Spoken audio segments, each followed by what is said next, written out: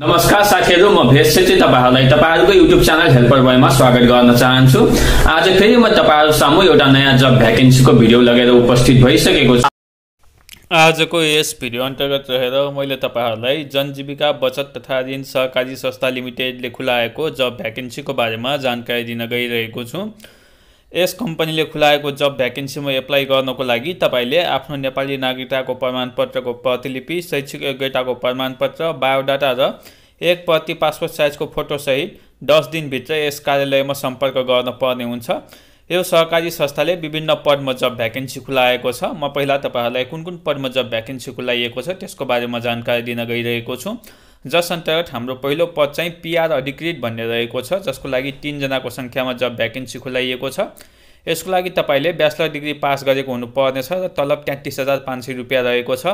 त्यस्तै अर्को पोजिसन हाम्रो कर्जा अधिकृत भन्ने रहेको छ। यसको लागि दुईजनाको सङ्ख्यामा जब भ्याकेन्सी खुलाइएको छ यसको लागि तपाईँले ब्याचलर डिग्री पास गरेको हुनुपर्नेछ र तलब तिस हजार रुपियाँ रहेको छ।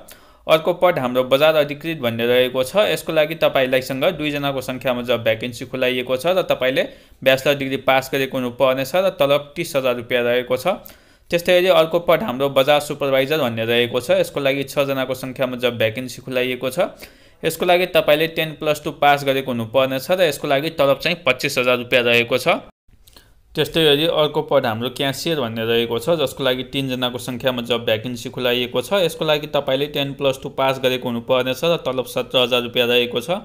त्यस्तै गरी अर्को पोजिसन हाम्रो रिसेप्सनिस्ट भन्ने रहेको छ यसको लागि तिनजनाको सङ्ख्यामा जब भ्याकेन्सी खुलाइएको छ र यसको लागि तलब चाहिँ चौध हजार रुपियाँ रहेको छ। त्यस्तै गरी अर्को पोजिसन हाम्रो बजार प्रतिनिधि भन्ने रहेको छ यसको लागि सत्रजनाको सङ्ख्यामा जब भ्याकेन्सी खुलाइएको छ यसको लागि तपाईँले एसएलसी अथवा एसई पास गरेको हुनुपर्नेछ र तलब चौध हजार रुपियाँ रहेको छ।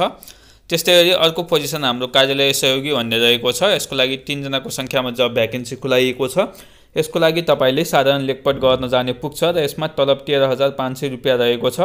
प्रारम्भिक छनौट यानि कि सर्ट लिस्टमा परेको उम्मेदवारलाई अन्तर्वार्तामा बोलाइनेछ सम्बन्धित क्षेत्रमा काम गरेका सवारी साधन भएका एवं स्थानीय अनुभवी व्यक्तिहरूलाई प्राथमिकता दिइनेछ भनेर लेखिएको छ। पिआर अधिकृतको लागि अन्य क्षेत्रमा पिआर अधिकृत काम गरेको तिन वर्षको अनुभव भएकोले दिन मिल्नेछ भनेर लेखिएको छ। रिसेप्सनिस्ट र क्यासियरको लागि बजार प्रतिनिधिमा अनुभव भएकोले पनि आवेदन दिन मिल्नेछ भनेर लेखिएको छ। त्यस्तै गरी अब यहाँ उमेरको हद लेखिएको छ। तपाईँको उमेर चाहिँ अठार वर्ष पुरा भई पैँतालिस वर्ष ननागेको हुनुपर्नेछ भनेर लेखिएको छ। अब तपाईँले यहाँ जनजीविका बचत तथा ऋण सहकारी संस्था लिमिटेडको ठेगाना देख्न सक्नुहुनेछ। यो चाहिँ सूर्यविनायक भक्तपुरमा रहेको छ।